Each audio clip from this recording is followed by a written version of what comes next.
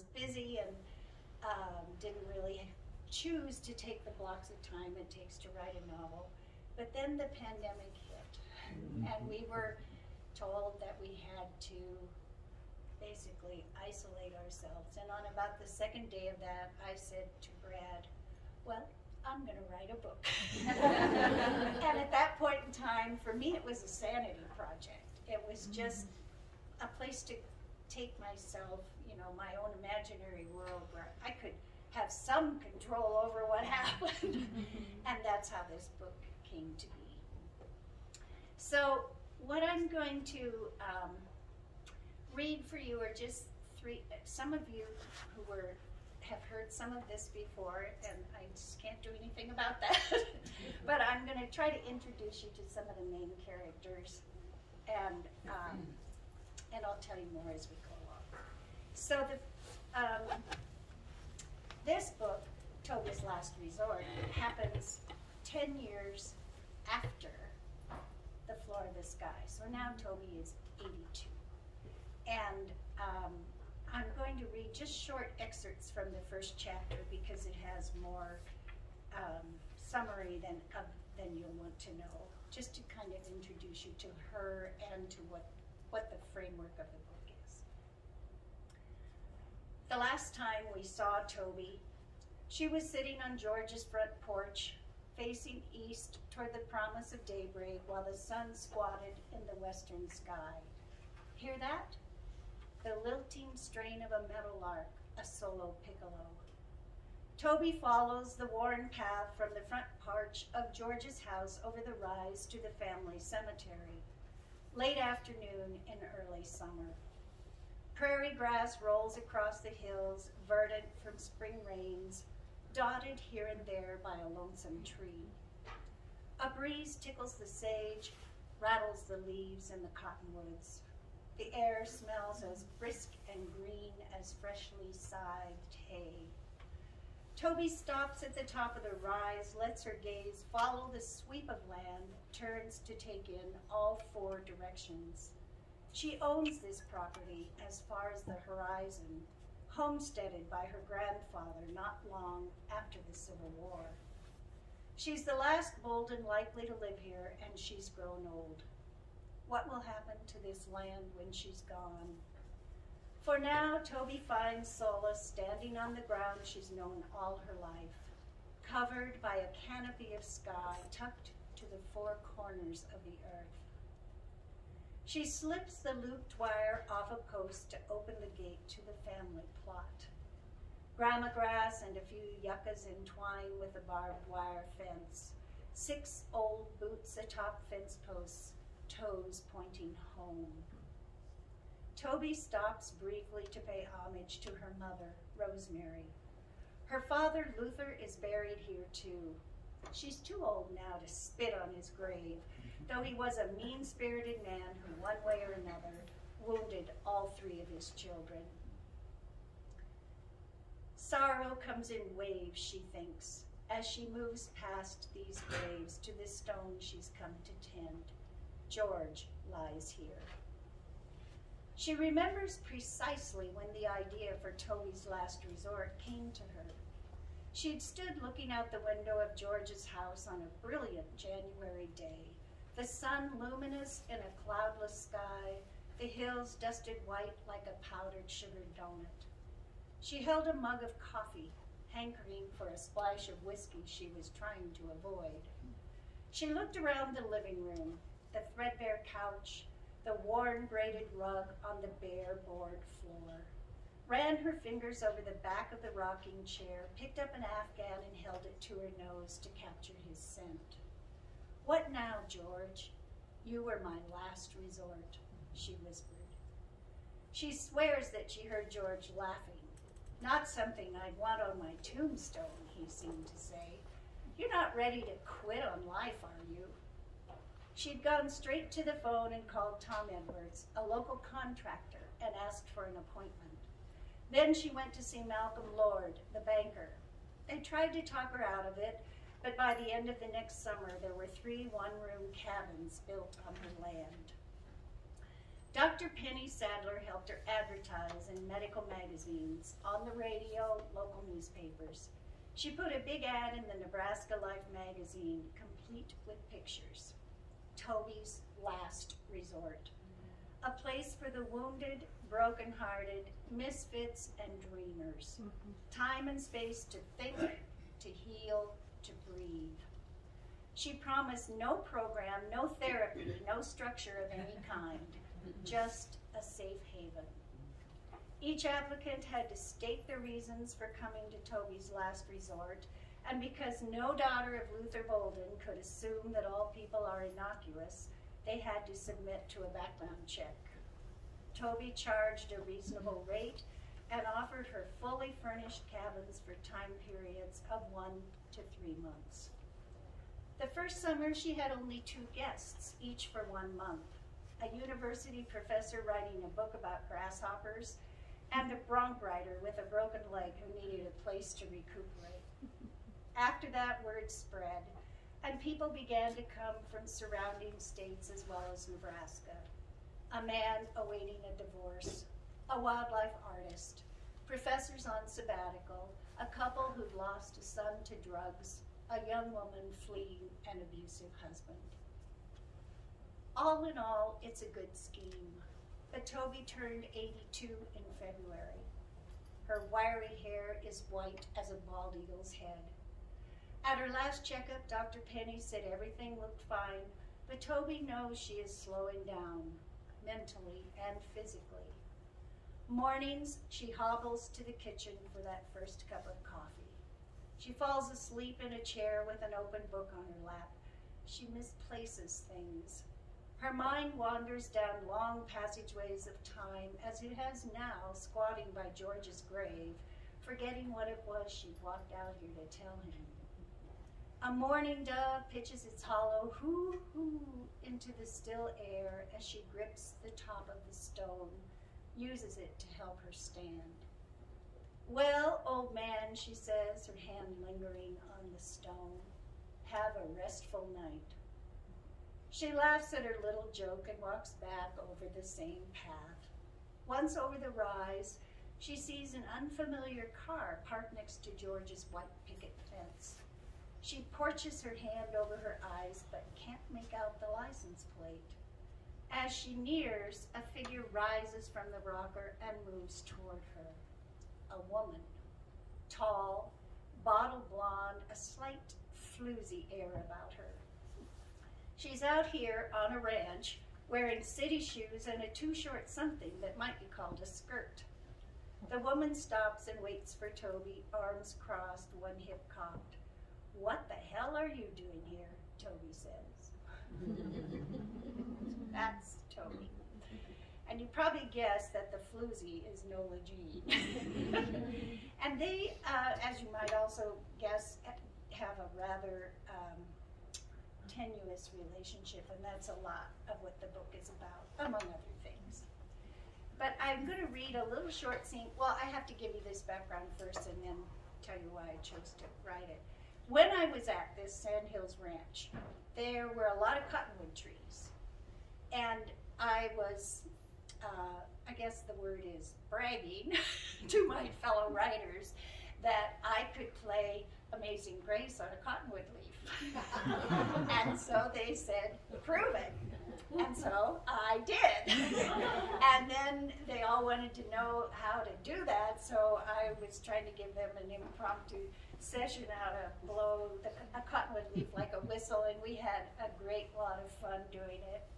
And so I captured that scene in this book, and I used it um, as a way of delineating the relationship between Toby and Nola Jean. Um, and I should tell you, I'm not going to read.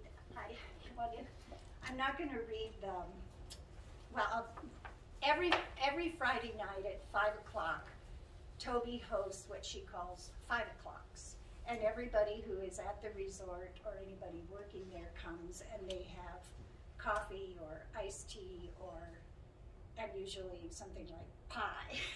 so the five o'clocks are a tradition. And this is later in the book at the five o'clock, and there are characters in here you have not met, but just. so, um, Isabel, who is one of the people who has come to the resort, and some of you who know my background, Isabel is recovering from a cancer diagnosis. But she and Nola Jean have become friends during the course of this week. So it's Isabel who calls the group to attention. Hey, everybody, I found out that Nola Jean has a hidden talent. Nola Jean groans. The others chime in, urging Isabel to tell. Nola Jean confessed to me this afternoon that she can play Amazing Grace on a cottonwood leaf. no way, Corey says. Laughing, the group moves to the side of George's lawn where the cottonwood branches spread across the fence. Anita comes to stand beside Toby. Anita works with Toby. And the two of them watch, like spectators at a rodeo afraid the cowboy will get bucked off. Nola Jean plucks a leaf from the tree, folds it in half, pinches it at the top and bottom, blows into the opening, and uses her fingers on the leaf to change the pitch. Matthew speaks first. That might be amazing, Grace, if you've got a good imagination. Nola Jean laughs too. I never said I was a virtuoso. How'd you learn to do that? Gabe says. Walter, my father showed me. Toby's surprised to hear that. She never knew Walter to blow on a cottonwood leaf. After all these years, to think she could learn something new about him. Show me, Isabel says. With that, they all pluck a few leaves. Nola Jean demonstrates how to fold the leaf, careful not to crease it, and where to place their fingers. At first, no one can get anything resembling a pitch out of the leaves. But eventually, first one and then another gets the hang of it. Along the way, all of them fall into laughing, punch drunk and giddy. Let's do the Blue Danube, Matthew says. Then he proceeds to sing, da da da da da, and the others all chime in with two high toots followed by two low toots. They try, we will, we will rock you, and when the saints go marching in. They keep it up a long time, howling and hooting, releasing the tension that all adults, and maybe this group in particular, carry, stomping their feet to the rhythms when the tunes are unrecognizable. Anita shakes her head. They've gone mad, she says, but she can't help smiling. Toby watches in amazement. The sheer joy of it astounds her. She watches them, clothed in summer colors, bending in half with glee, stomping and dancing like a living floral ballet right there on her front lawn, and she is swept with sorrow. She cannot fathom how she has not known that Nola Jean is capable of spreading this kind of light. Mm-hmm. Okay, and then one more, because it's fun to read. um, there's another character in the book called Josie, and Josie and her husband Dan have been married for 45 years, and she has just revealed to him a big secret, and you'll have to either read the book or buy it to find out what that is. And he's been very upset by this, and he's gone off, and when he comes back, he tells her, he says, it wasn't the thing itself, but she didn't trust him enough to tell him, and he wonders what other secrets she's held. And she says, oh no, there aren't any, and he goes off again. So this is the next day. Late afternoon, Dan comes home. Josie has no idea where he's been, and she doesn't ask. He says nothing, picks up a book, a thick tome dedicated to U.S. history, and heads out onto the deck. She moves around the kitchen a while, watching him, trying to decide what to do.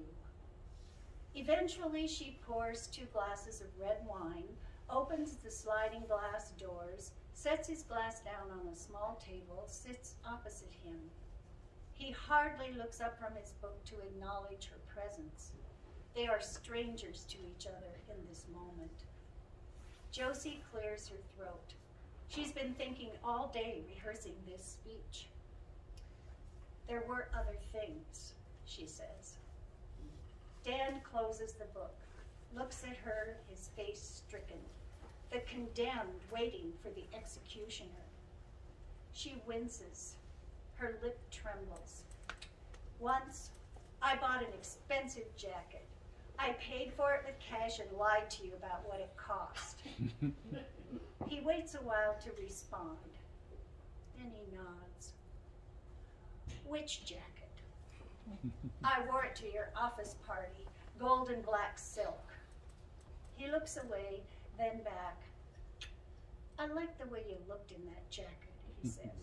You did? Yeah. She fishes a tissue out of her pocket, blows her nose. He sips his wine, she sips hers, neither speaks for a while. Remember that Emma Marie, he says? The one who always wore high heels? Her breath comes ragged. Once at a conference, she invited me up to her room for a drink. Oh, this is it then.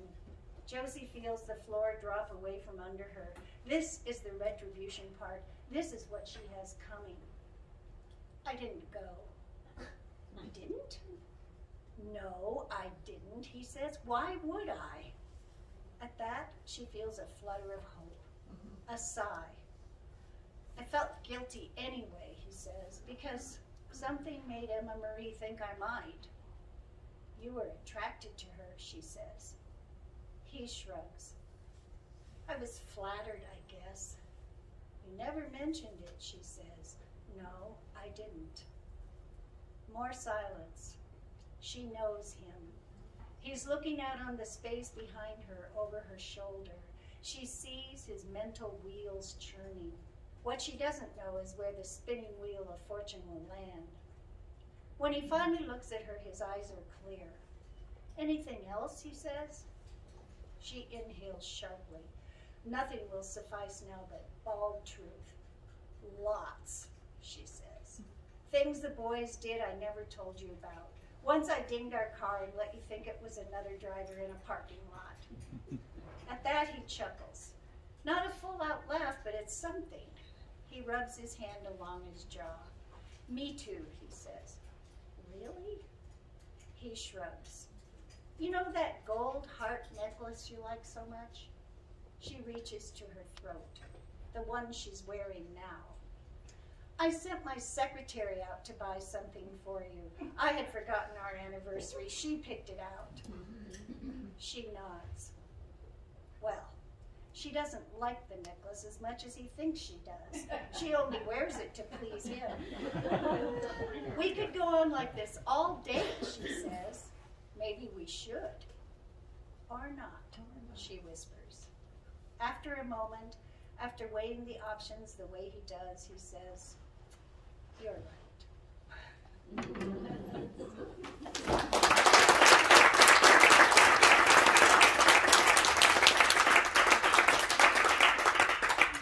So happy to answer questions.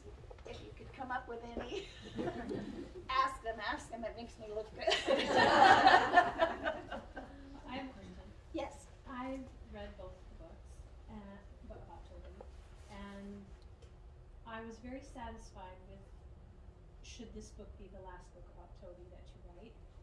But on the other hand, we have an 82 year old possible next president, and does 82 necessarily mean the end? Just mm-hmm. curious. No Yeah, you know, I was thinking about when I wrote The Floor of the Sky. Well, let me say, you know how we all watch now a million things on television because that's how we filled our time, and we watch these series, and maybe there are eight, ten episodes, and still, after you watch eight, ten episodes, they end with a cliffhanger because you know they're preparing for a second season, and then sometimes they don't have a second season, and you never find out what happened. Well, that is not what was going. I mean, when I wrote The Floor of the Sky, I wrote it. I thought I was done, and then the character kind of just stuck with me, and they ended up being in a in another book. So I learned to never say never. um, because Toby's getting older, but then, you know, so am I. so one of the concerns in this book is what to do about aging. And that sure is a topic of conversation among me and my contemporaries these days. And, uh, and that was, I'm sure, part of. So maybe if there's another book, I'll have figured out what to do. But I, I don't have any thoughts of one. But thank. She's a fun character. Mm-hmm. You know, in oh sorry. Oh, go ahead. In, in your writing, um, you you just seem to know your characters so well and have so much love for them, and I'm curious if they talk to you. Well, not audibly, usually, but I do. I think that writing is a whole lot about listening. For and and I do think of writing as listening to my characters and what they have to teach me, and um, they do. They do get to feel like real people that I know, and I mean, I, I know I conjured them up, but but they um, and I do always love all my characters, even Luther. I don't think I love Luther, but he was a very minor character. but um, even the ones that are difficult, or maybe especially the difficult ones, um, because it's a it takes a long time to write a novel, and who wants to spend time with someone that you really can't stand all that time? So. Um, so I don't know that. The, I'm, when I start, I always I did this as a playwright. I write character descriptions and character histories and things that may never appear in the book, but just as a way of getting to know my characters. So in that sense, I guess they do talk to me. yeah. You, Nancy? Yeah, I was just gonna say, so with your characters though, what's pretty neat is that you're taking some of your own experiences and making that part of the character. So in, in they are kind of like you then, in some well, aspects. Some people, you know, have said every character is the writer yeah. in some way or another. And sometimes it's conscious and sometimes it isn't. Yeah. And um, and in this book especially, I didn't have anybody particular in mind for the characters, but my own experience. Seeps, if if you, Brad, Brad, I can hear Brad when he's reading along. He starts chuckling, and I know he's thinking, "Oh yeah, that's that." so um, yeah, because uh, you know you have to write out of what you know. Yeah. It's kind of funny because Bob and Deb, they're our neighbors, and Bob was like, "Have you read this yet?" And I said, "No, but I'm going to." And he said, "Hurry up because I'm waiting for Deb to, to read it because I have questions and I want to." Oh, that's so it's nice. like okay, so he can't wait to start talking and asking questions, and it was cute. Yeah, that's sweet.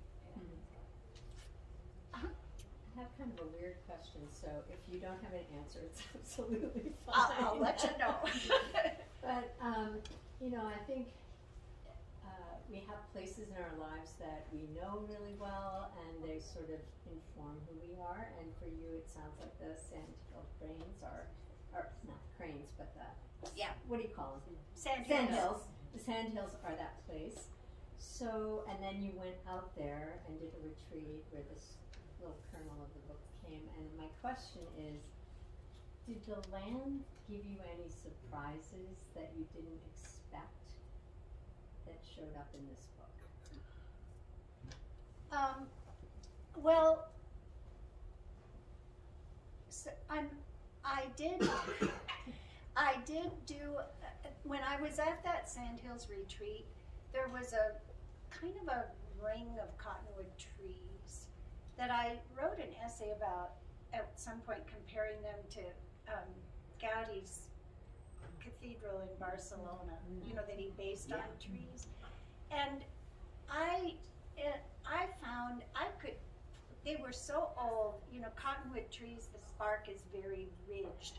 I could place my whole hand in the ridge of those trees. And so, in that sense, I don't know if those are surprises, but those are, I think of them as mysteries revealed, I guess. Um, and I do love that landscape, and it's funny, I just think we're kind of imprinted with the landscapes of our childhood. Beth Waterhouse, who's sitting back there, once said to me, because Beth grew up with forest, you feel you feel safe in the forest. And Beth said, I don't know, Pam. When I'm on the prairie, I just feel so untethered, like I could just fly off. And I said, I know. I love that. And you know, we I think the forest is beautiful too and I can really enjoy it, but I begin to get claustrophobic. Mm. Even when we drive through the mountains, when we come, you know how you sometimes come down and there's an open meadow, it's like oh, so it's mm-hmm. something about mm-hmm. um, for me about possibility and openness and, and I compared it once to how I used to feel when we'd walk out of my grandmother's house when she wasn't very well and we had to be quiet you know and we could go outside and then we could run and play. That's how mm-hmm. I feel when I walk in out where the prairie is open we had an opportunity, Brad and I just drove home from Denver. Our daughter and her kids live in Denver. And we drove, um, usually when we drive across the sandhills, we drive the, a northern route in Nebraska, but this was straight down the middle of a road we'd never been on before. And there is just something that sings to me from that landscape. It's, as like Leslie, for you, it's the ocean in the east. Desert. So. I haven't lived there for a long time, and maybe that's part of it. It's the homesickness and the nostalgia for childhood. If I lived there, I might be sick of it. Anything else? I will own that I only read the second one. I haven't read the, the first book yet. No, I will. But the of the characters, I'm just interested if there's more to shed on. Anita really spoke to me. That, Yeah. that control, but kind, but but Yeah. and the the um, I somewhere read a description of your characters or something the way that you um, use or describe flinty women, and I just I love that word in Yeah. connection with it, and I feel like there's got to be somebody in there who's who drives that character.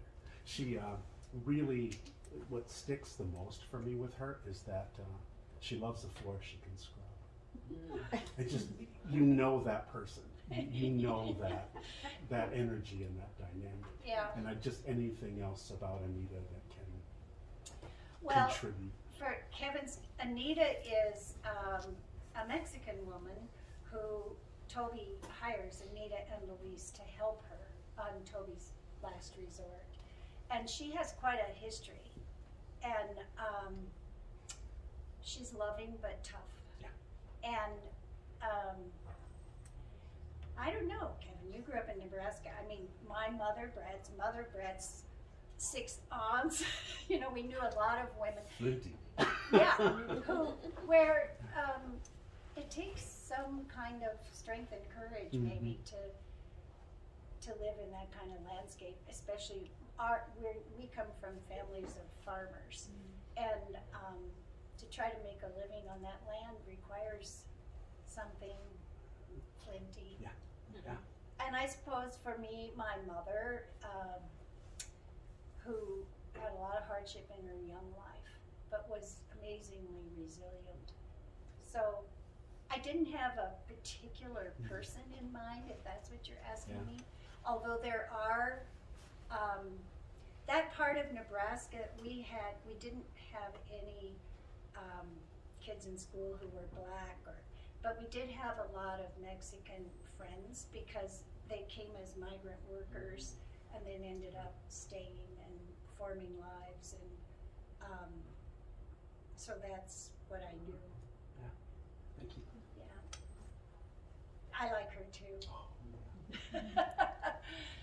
and she and Toby have an interesting relationship there. Yeah. Anything else? I'm wondering if, uh, I don't wanna interrupt this, but I'm wondering if, uh, before y'all go, if you're willing to have your picture taken with Pam, I'd love to take it. Oh, And, should uh, I It might just? show, it might wind up on, uh, on the web, on the internet. So So I'll I- give you a chance to, to leave if you don't want to. So if I went over there, That'd be great. do you, is that all right? Yeah. Okay. I'll just go over here, and sit right in front of Kevin. While I'm doing this, you can think of more questions. I wish we could have brought a cottonwood piece. I know, I think But we there aren't any. Summer, I got it, I didn't still have to demonstrate. Remember in a couple months. Okay. See what I can do here. Three whole books. Oh, yeah. Okay, I might take a couple of. Here we go. Thank you. Well, okay, any last questions? Otherwise, yeah. Do you think Nebraska is for everyone? You know, I did a meeting at a little bookstore in Lincoln a couple weeks ago, and I was talking about how Brad, I think that ad is so clever, and the woman who owns the bookstore was like, uh-huh. so I guess not every, you know, I don't think they thought it was, you know, the ad that's on television, Nebraska, not for everyone. we thought that was pretty clever. I'm kind of curious how many people here are from Nebraska. I grew up a lot of my childhood in Omaha. Do we have- Are you Omaha? Blair. Blair. Nebraska being empty. And Patty, where are you from? Fremont. Fremont. So that's eastern Nebraska. Oh, that's That's- eastern yeah, yeah, Nebraska. it is. Brad's from eastern And Nebraska. Omaha's Very east different. Yeah. Yeah. I just, I don't, I just never meet people from Nebraska in Minneapolis, so that's kind of fun to Yeah. We're everywhere. have a reason. Yeah. Not for everybody. Well, and I, I don't love it when Minneapolis says that they lose all they, all Minneapolis is is cold Omaha. That's like, oh, Yeah. don't say that. Yeah. Well, there are, there's always a lot of, um, you know, that I, the University of Nebraska Press calls this series flyover fiction, which is Ladette Randolph, who started that years ago, kind of her way of saying, hey, you know, because that's how, that's how the Midwestern states get depicted so Oh, much. And sometimes when I see Hollywood's version of a movie and they place it in any one of the Midwestern states, and the people look like such idiots. you know. I think they've never gone there. so Yeah, it's just yeah. people, people everywhere. I, a friend of mine was a script writer, and he lived, grew up in L.A., and he wrote this script for uh, Amazing Stories that Spielberg produced, and he said he worked so hard to research Iowa because it was set in Iowa. And he said he put the black soil in that story all through about the black fertile soil, the black soil. And he was just crushed when he saw the filming, and it was all this dusty red soil. Because they must have filmed it in what, Arizona? Outside LA, I think. Yeah. I don't know if you know the sandhills of Nebraska. I mean, I used to ask this question: How many people? How many of you have ever been to Nebraska? How many of you have ever been to Nebraska? Is that And how many of you have ever been to Nebraska other than on I eighty to Yeah, which is a different question. But the sandhills are literally sand dunes that are grass covered with, and and the, it's one. There's only one other ge- geographical formation like that in the world, and it's in China. Really? And so, and there are lots of, not lakes by Minnesota standards, but little, I guess they'd be ponds, here, there, and everywhere. So it's not dry, dry, dry, dry, dry. And, and most of those lakes are fed by uh, the underground aquifer, and it comes up through springs. So there might be pond here this year, and you know over there next year. And when they, when the Homestead Act was signed, they couldn't, nobody could make a living on it with the number of acres provided because they couldn't grow crops. But then they offered um, double the acres to anyone who would go there, and it's primarily ranch land. And of course, it was, as we all know the history, robbed from the indigenous people who were there before. But that's another whole story. so, well, thank you very much for coming. You are a great audience.